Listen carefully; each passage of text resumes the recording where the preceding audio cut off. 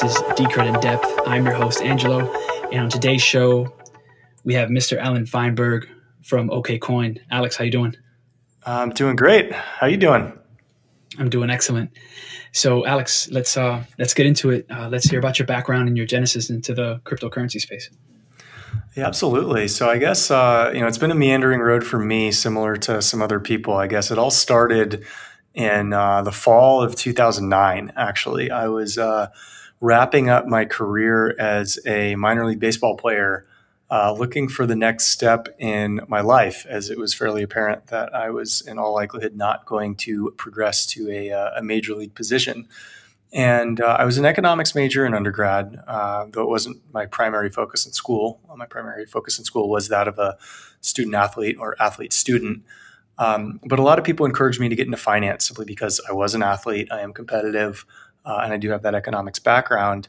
And because I wasn't coming from directly from a university, I had to explore alternative options to get into the financial services industry. Uh, I didn't have the benefit of campus interviews or internships where I would be able to go work at a Morgan Stanley or Goldman Sachs very easily.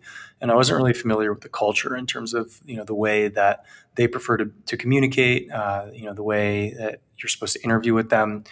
Um, and so the most practical entry point for me into the financial services space was actually to work with a fan of my college baseball team who's running a global macro hedge fund out in Hong Kong. Um, this fan was quite wealthy, but he had some pretty interesting ideas that a lot of people, you know, almost 10 years ago were very hesitant to acknowledge. Um, he was having me watch videos about the foundation of the Federal Reserve, as well as other videos that at the time would be classified as conspiracy theories. Um, but because he liked the way I thought and because I respected the way he thought, as well as his background on Wall Street, um, you know, he asked me to work for him. And I thought, you know, even though I had never been to Asia, he was the only person I knew in Asia. Uh, I ended up moving from the San Francisco Bay Area to Hong Kong to work for this guy as an analyst at his hedge fund um, in early 2010. And you know, even though I didn't know very much at the time, I had the discipline to realize that uh, I was a lot less successful than he was. And if I wanted to understand finance, and if I wanted to understand markets, um, rather than question weird thoughts that it seemed he had, I should actually explore them. And so I actually read the Federal Reserve Act. It's only like you know 30 pages or something like that, written a little over 100 years ago. Um, and I read books like The Creature of Jekyll, Jekyll, Island and other other information that could plausibly be uh, you know defined as conspiratorial content, but it was you know in congressional records. It was you know acts of Congress. It wasn't um, solely YouTube videos. And with more and more research, you know, I came to realize that the Federal Reserve is in fact um, a private corporation that does in fact have shareholders that are in fact American banks and I learned the nomination process for the board of governors, um, as well as the, the voting process that determines interest rates or the price of money, um, was very controllable by uh, corporate banking and business interests in the United States. And you know, at the time living in Hong Kong, I thought, wow. Um, I completely believe what this fund manager is saying about the health of the financial services sector. And what that means is um, the Fed's probably going to destroy the dollar if you give them a long enough period of time. And so I thought the most practical uh, switch for me was to actually move to Silicon Valley, where the startups there would be most sensitive to uh, price of capital. I actually spent about six years working at Google. Um, and then, you know, I, I, did informational interviews at Coinbase, you know, back 2012, 2013. Um, but I didn't think a ton of the space because I, I actually at the time uh, failed to fully embrace the network effects that existed within the developer community supporting cryptocurrencies. And so it wasn't until 2017 when the markets came roaring back um, that I took a second look at the space and I realized that a lot of the content that was being shared and circulated within the crypto space was the same content that I was reading in 2010, 2011. Um, and it was a really intuitive switch. And so I ended up uh, leaving Google, reconnecting with one of my best friends from Hong Kong who connected me to OKCoin, who was interested in expanding in the United States and you know was interested in bringing on board somebody with my background. So you know it seemed like a good fit at the time, and uh, I joined last June. Excellent. And what was the the primary decision for leaving something something as stable as Google, such a large company, to come to OKCoin?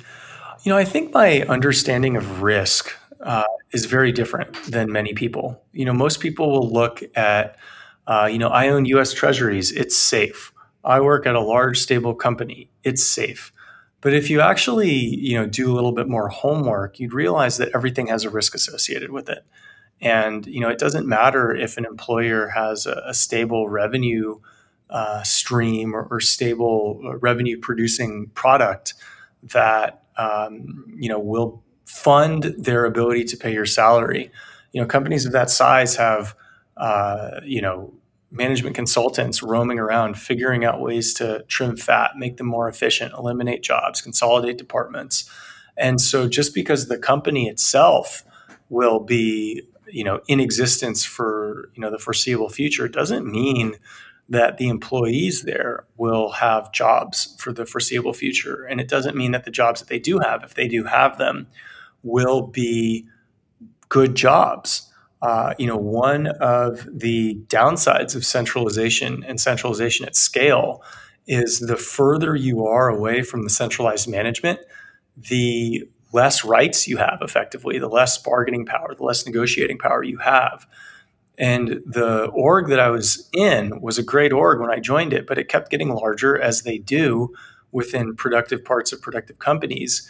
And what that ultimately meant, because I wasn't in senior management, was that a lot of the aspects of my daily life were going to become micromanaged by practice, even if it wasn't the intent of you know my actual bosses to, to micromanage.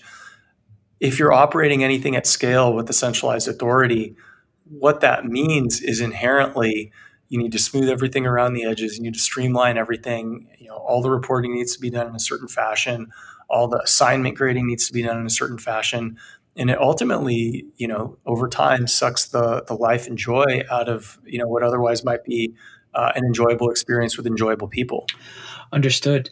Now, with your background in economics, um, what are some of the issues that you feel blockchain technology can solve? I mean, I think the first one is very sensibly the monetary issue.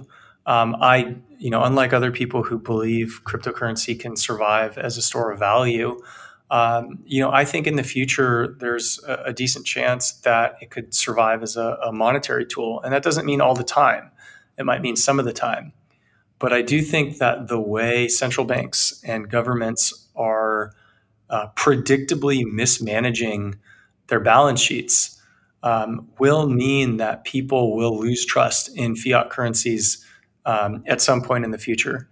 Uh, I think it's it's hard for people to understand or, or grasp the fact that fiat currencies don't typically last for a long period of time, and the world has been on a fiat currency standard for you know almost the last fifty years, which is quite a long time. You know, typically, you know, because people are people and people have predictable incentives and act predictable ways um, when when they're under fire, you'll see governments borrow too much, borrow more than they can pay back, um, pressure their central banks, as you know, is the case of our presidents, uh, both now and in the past, to keep interest rates low and, and not defend the integrity of a fiat currency. And I think what blockchain technology allows through the creation of Bitcoin or Bitcoin alternatives is an alternative to a centrally controlled currency that has a history of mismanagement. Um, so I think first and foremost, you know, that type of technology excites me about blockchain. I think, you know, other other aspects, you know, could be interesting if there's actually applicable use cases and and certain things can get ironed out. You know, I think there's a lot of fraud in the supply chain for food. Um, I'm particularly concerned about that because I'm, I'm very cognizant of, of what I put in my body. And I know that a lot of the things I buy are not what they say they are. You know, I know a lot of olive oil is not olive oil. I know a lot of honey is not honey.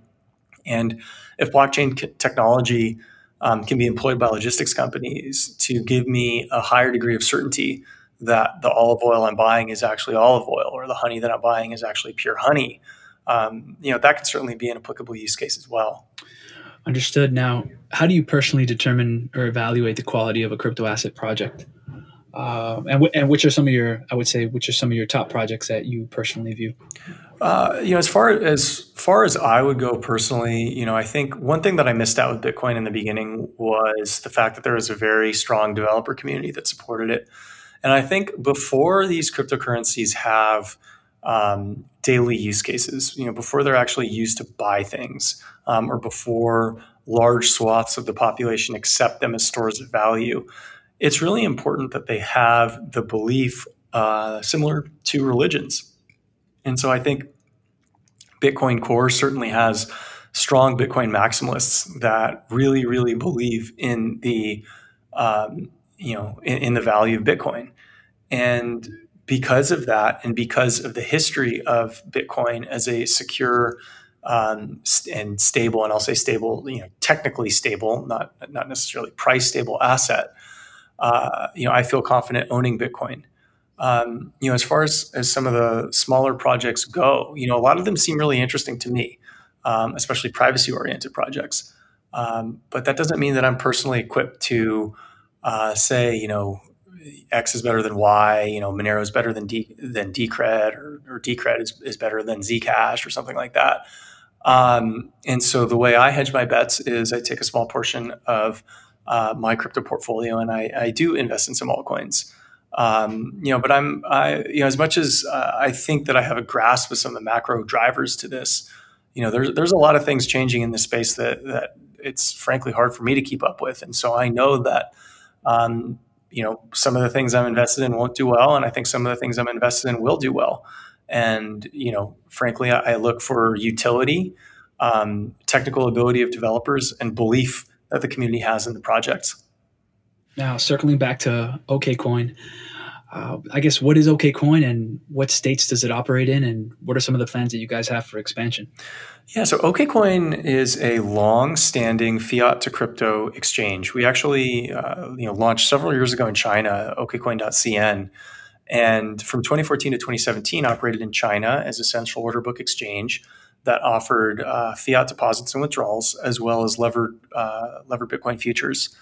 And then when the Chinese government uh, shut down central order book exchanges, we had to do some pivoting to figure out how we could keep our business alive and how we could regain some of the market share that we lost. And so we ended up opening up an office in San Francisco, California. Um, last year, last June, uh, you know, we started having the space, and I think we launched the exchange last July. And in the process, we've been busy acquiring money transmission licenses. Um, you know, state of California, Georgia, Alabama, um, Missouri, Maryland, Montana, the Dakotas, Arkansas, Iowa, Kentucky, uh, Pennsylvania, Utah, to name most of them. Uh, maybe maybe missing a small one, um, but you know these are the areas that we're operating in the U.S. and we're also operating internationally. So you know, folks in, in Latin America, uh, folks in Europe, uh, folks outside of China and Asia are trading on our platform, and we're doing our, our very best to try to ensure that they're having a good experience and more people are going to come to the party. Excellent. Now, uh, what is the process for adding projects to to the exchange? Yeah, you know, we want to make sure, you know, number one needs to be compliant, right? We do not want to come close to listing assets that could get us on the wrong side of the uh, regulatory fence. So, very much so, we do not have any interest in listing securities at the moment. Um, you know, very much so, we have no interest in listing scam projects uh, because that does very little for anybody in the space. Um, you know, users of a platform will not come to the platform very often if you know a majority of the options or even a plethora of the options that they have at their disposal um, are on their way to hitting zero. Um, and so, what we want to make sure is that there's a strong community that supports a project that also has strong technology underpinning it, that also operates in a compliant fashion. And so, and a bonus on top of that is if we can be the first to market, if we can be the first to identify a, project. And I think, um, you know, as it pertains to Decred, you know, if we could be, and, and the fact that we were the first dollar on ramp, um, you know, gave us a huge opportunity for differentiation, both to uh, the Decred community and for folks who might, at, you know, at one point be interested in acquiring uh, Decred. So, you know, in addition to ensuring that the founding team is strong and that the, the project doesn't have, um, you know, a, a litany of, of, issues in its history, um, you know, all of these things made Decred, uh, you know, quite attractive to us. Um, like the hybrid protocol had a, a, pretty interesting governance model. So, you know, a lot of things that that piqued our interest and ultimately led to a listing. Now, uh, you're seeing this uh, pop up in the space a lot. So Binance recently launched a DEX, and many others are many others are in the work as well, along with Decred. Uh, do you see decentralized exchanges as a threat to your market share, or as a complementary tool to what you guys are doing? At this point, I don't, and you know, I think the reason why I don't right now is decentralized marketplaces don't have a ton of liquidity and a lot of people who are acquiring crypto right now are doing it for speculative purposes. Now, if we flash forward 10 years and people are massively distrustful of governments, they're massively distrustful of sharing their information, you know, due to the last six data leaks, um, you know, from a similar to Equifax.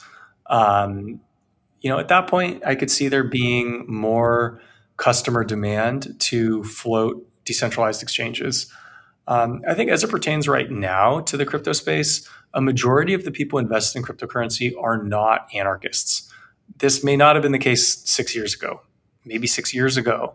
Um, you know, the, the earliest adopters of crypto might have been extremely distrustful of centralized authority and centralized governments. But at this point in uh, Bitcoin and, and cryptocurrency's history, I think a lot of the people who are buying are you know interested in asset speculation. They see, oh, price goes down, oh, maybe I can buy and it's going to go back up.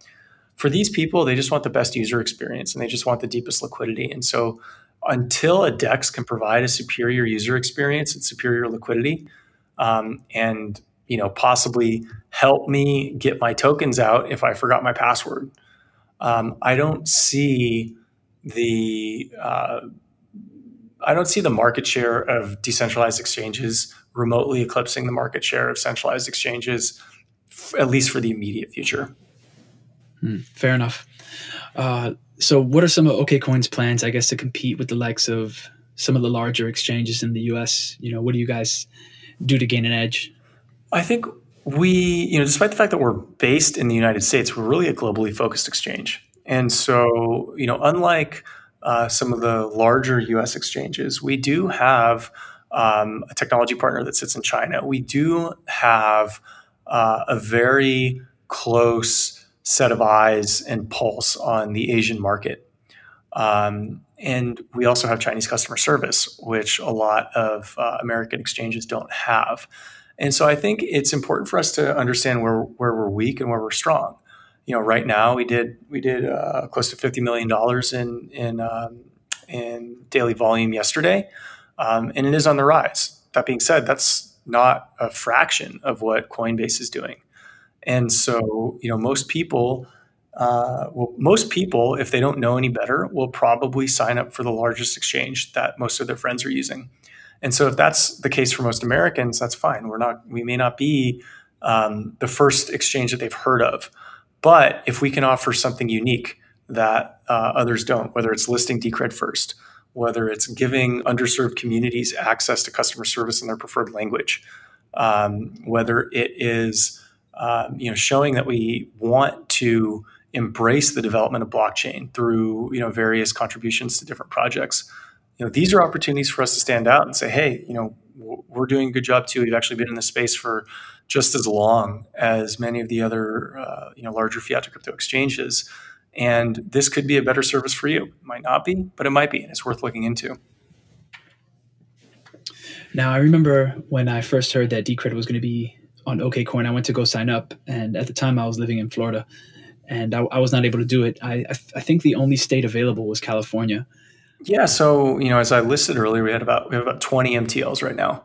California was the first MTL. And unfortunately, we don't yet have a Florida MTL. And so I think, you know, as far as jurisdictions go, the US is one of the most challenging juris- jurisdictions relative to the other countries.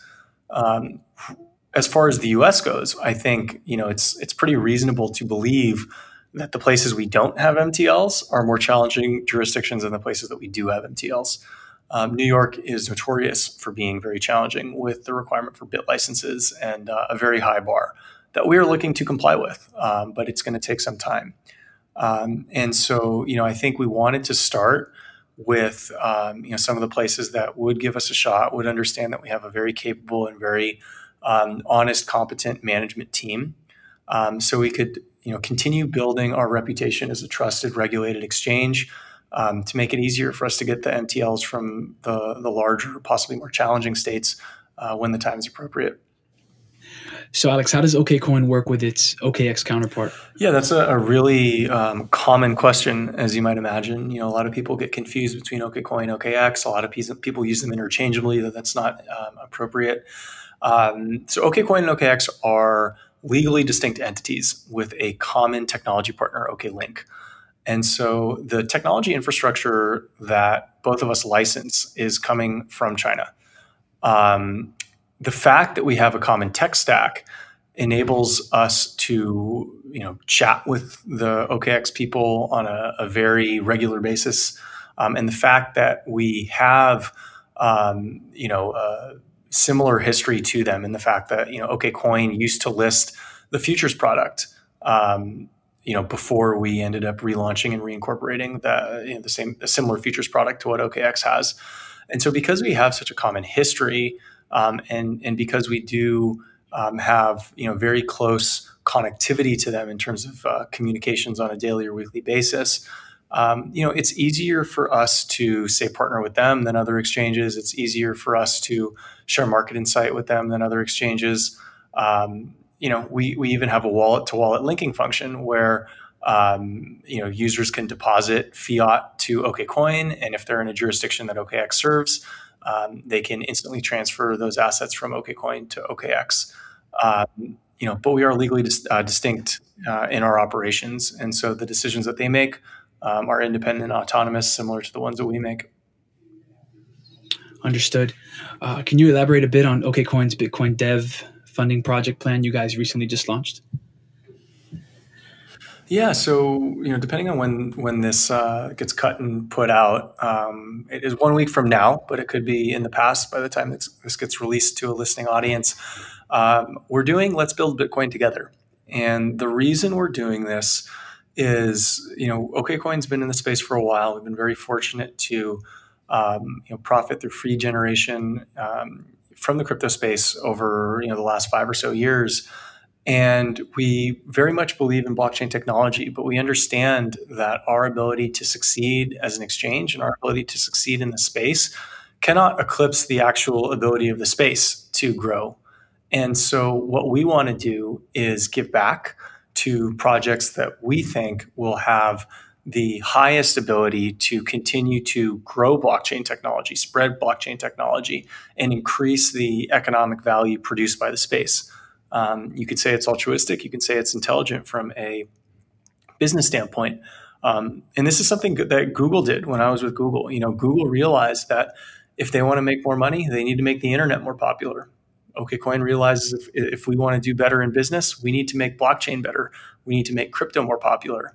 And you know, this is sort of the, the synergistic underpinning for you know why we felt comfortable to you know making you know up to a thousand Bitcoin donation to the development community of our users' choice because our users are able to vote and and suggest to us um, where the where the donation should go. So, what are your views on community hard forks, say governance, and Decred has a, a treasury built into the protocol that uh, that kind of solves that problem that that Bitcoin has? So, I think it's interesting. I think you know conceptually, I'll support a hard fork. You know, I don't think that you know if if uh, if two people want to split up, if they want to divorce, like I don't, I wouldn't necessarily support laws preventing them from doing that. Um, if I'm running a department within a company and I have a disagreement with the CEO and a bunch of people that work under me, believe me, instead of the CEO, like I don't think it should be bad for me to go run off and do my own thing. Um, you know, and that's the same way with the community. You know, if you're at a party and you think, hey, this party's not what it was when I came three hours ago, and you want to take 10 people and go to start your own party, like, good on you. That's fine. Um, I do think that the because the blockchain space has a lot of esoteric people, um, who are very, at this point, still um, driven by fundamentals and, and, driven by ideals. You know, I do think that there could be a tendency to hard fork uh, earlier than what's optimal because people are so idealistic, where people say, "No, this is completely contrary to my ideals. I'm out." And I think what what the decentralized communities are going to have to acknowledge at some point, and that point might not be soon, but um, I think they're going to have to acknowledge that uh, you know some degree of consolidation is actually beneficial. Um, you know, there's a reason why communities exist in large centralized fashions, and you know, realistically, it's because they could militarily dominate the, the, the more fragmented communities. And so, you know, just because you have a disagreement with others in your community, I don't think that you know the first um, you know the first answer is to split, or even the second answer. But I don't think that you know people should be stopped from going off and branching off and, and hard forking. Um, you know, should their heart really tell them that that's the case? And your thoughts on governance and uh, and Decred self-sustaining model?